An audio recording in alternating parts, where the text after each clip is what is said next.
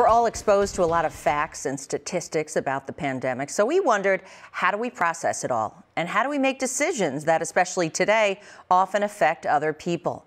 News 19's Dave Soley spoke with a couple of university professors about that topic who agree reliable, accurate information is key, but so is asking questions.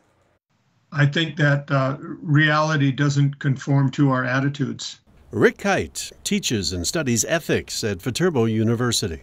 We can have all kinds of differences about like where we think the country should go and what kind of policies adopt or anything else, but the pandemic is just squashing everything. So, reliable, accurate information should guide the decisions we make. But because there's more information available now than at any other time in history, Kyte says it's easy to find information to support our attitudes or biases.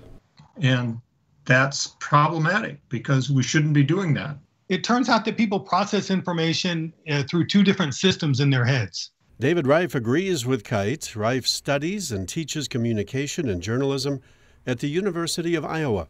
Uh, one of those systems he's talking about is a rational system. The other is more connected to social identity, the process about which Rick Kyte expressed concern, and the way Ryfe says we tend to process information. But right now, decisions are better reached using the rational approach based on reason and logic.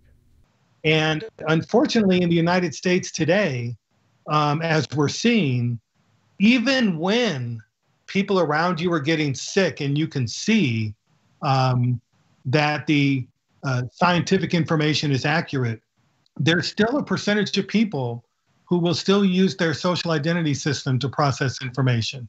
So Kyte has a suggestion. We should stay humble, reconsider what we think, and ask questions.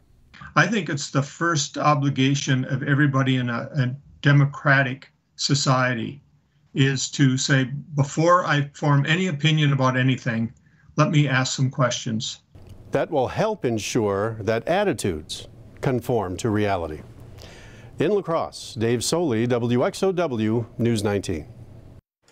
And coming up at 6, you'll hear from Rick Kyte and David Ryfe about the media role in this process.